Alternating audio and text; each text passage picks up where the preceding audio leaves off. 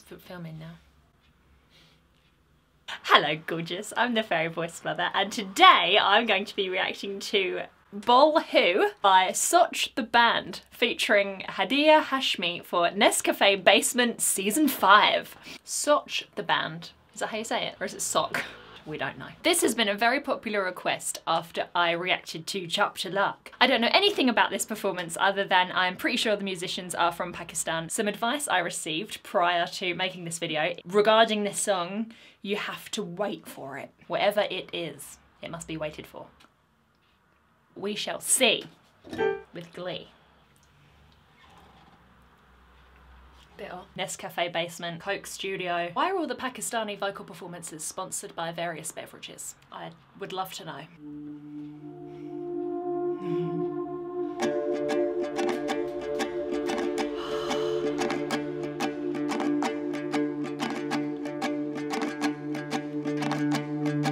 रंग जा अपने ही रंग तू हो जा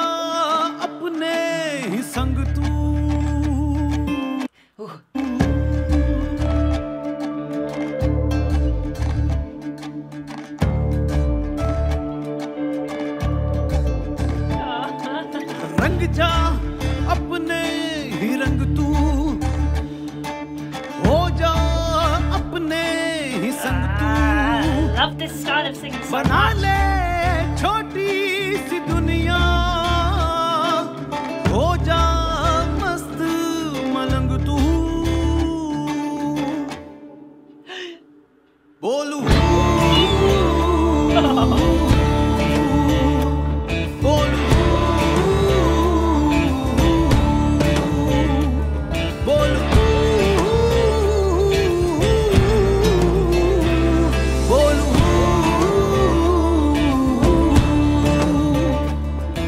much ooh. Oh. From a purely technical perspective, ooh is a fabulous shape to create some beautiful high overtones. Ooh. The air can also whistle past the lips on the way out as well, creating an additional sound.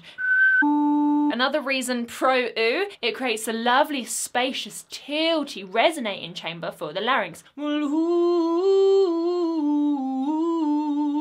It's got a warmer, richer sound. And from a slightly more spiritual perspective, any kind of ooh shape with the lips is always a symbol of God in some way. A complete circle. An ooh or an aw sound is commonly used in mantras and chants. For example, the most famous one probably being Om. Whatever your perspective on religion might be, it's very nice to have unifying experiences and aw.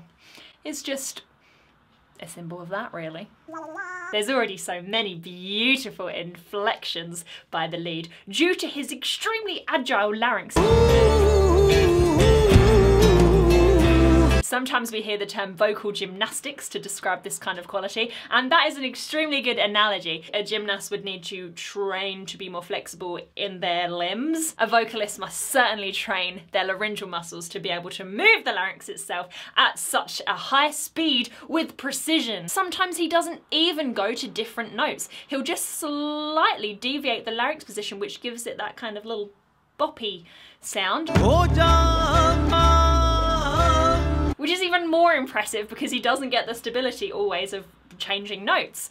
Sometimes he just kind of flicks off the ones he's on. The fusion of Western and Eastern instruments is just the greatest, most enriching thing. Ed Sheeran needs a sitar. Aw, look at that beautiful happy face. खाली खाली आंखों से सपने बुनता जा मन अपने की कर ले तू सबकी सुनता जा।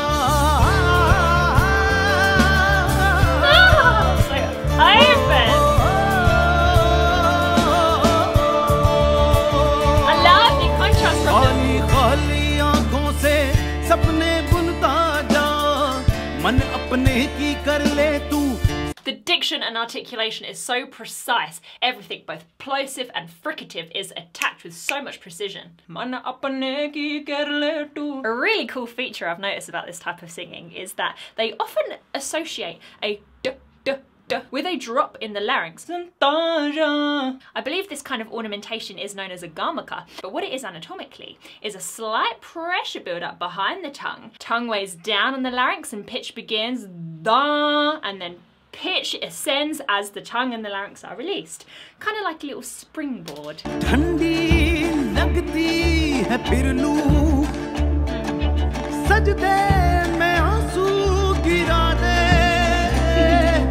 I love how he puts his head back. So much resonance and movement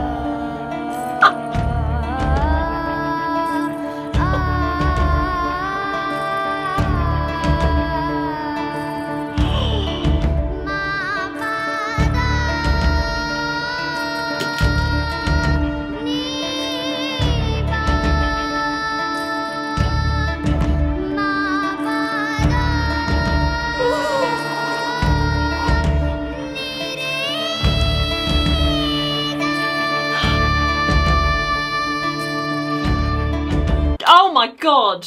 Okay, I waited for it. There it was. How? Eh, no.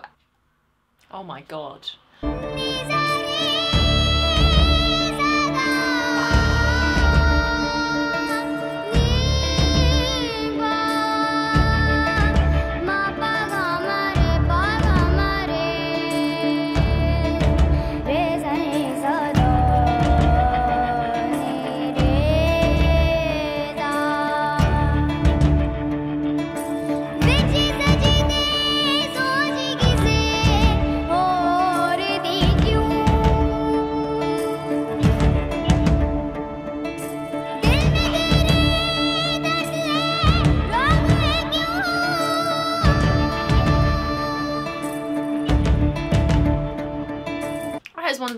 Beautiful things I've ever heard. I mean, like decades worth of study and practice, but manifested inside of a tiny, pure little angel human. There really isn't much explanation I can offer as to why this tiny child has been able to develop these skills so quickly, apart from an innate ability to exercise complete autonomy. She must be an extremely intelligent little girl to be able to musically use these melodies. She's bending minor sevens into sixes, ah!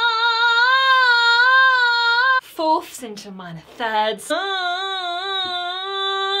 The capacity she has for rich, extended harmony is astounding. I was having a coffee this morning in a pub nearby, and at the same time, there was this like baby singing class thing, and it just struck me how like every nursery rhyme they sang was in C major. Here we go round the mulberry bush. Incy wincy spider. Horsey, horsey, don't you stop. Could you not have just done like a minor version of one of them? Incy wincy spider climbed up the water spout. Okay, maybe not that, but just some extensions, something, you know. But no, they will insist on making all the Western children learn major scales only. Major triads, that's all we get. If I am one day lucky enough to be blessed with a human baby of my own, there will be no Incy Wincy, and Humpty Dumpty will have His great fall. it's such an extraordinary, rare thing to behold. Like, this kind of vocal quality in particular can only be achieved by a child. The reason we get this brilliant, bright formant in her sound is because her vocal cords are just so teeny. But she's singing with her utmost power and fullness and strength. So the combination of that energy and that strength with the fragility of her delicate little vocal cords is magic. Usually, it takes us a long time to develop this kind of strength and control, and by that time, our vocal cords have grown, they've got longer. So, the sound is much more thick and darker, but she somehow managed to fast track all the years of training that many other singers would require in enough time to produce sound with these tiny little kiddie vocal cords. She's also able to create a pretty dark formant as well. See how she drops her larynx, guides the chin down to put it in position.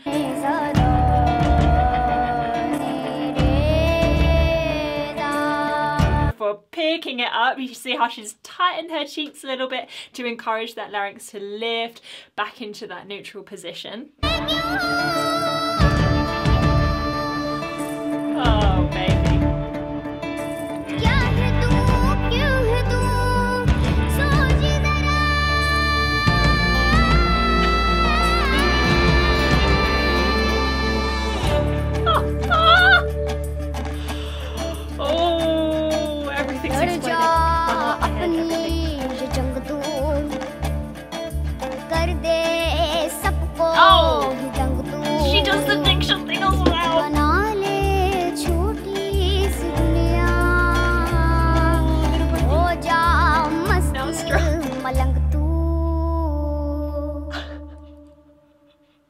बोल Oh.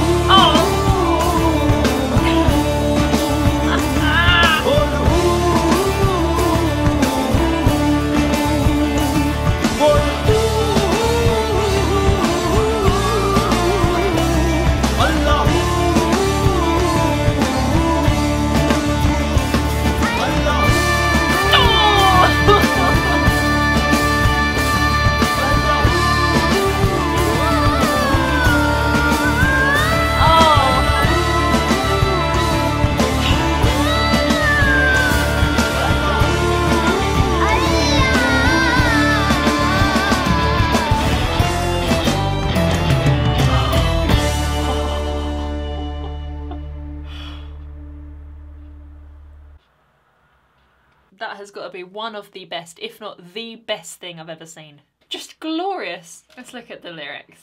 The lyrics are just purely about union and connection with yourself, particularly, but with the world around you, and with obviously their depiction of it is God, but you can replace the word God for anything you like. However, it is that you believe you're here, be connected to it. Be grateful for it. Enjoy the beautiful world around you. Paint yourself with colours within. Find a companion within.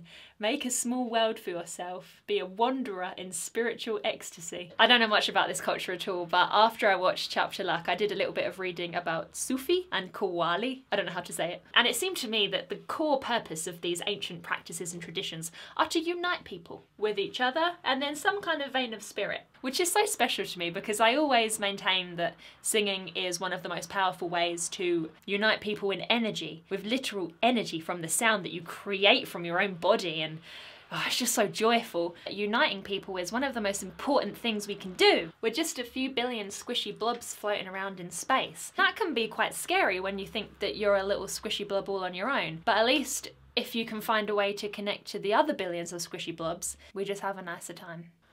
Thank you so much for watching this video today. I hope you enjoyed it as much as I enjoyed making it. If there are any singers of any kind that you would like to see me react to, please do let me know in the comments as it is always my pleasure. I love you so, so, so much. I hope you have a wonderful day and I can't wait to see you again soon.